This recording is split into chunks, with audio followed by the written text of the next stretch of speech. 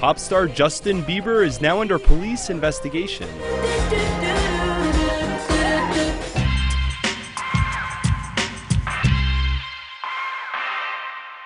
The teen heartthrob allegedly got into a scuffle with a paparazzo on Sunday. The Los Angeles County Sheriff's Office is investigating possible battery charges.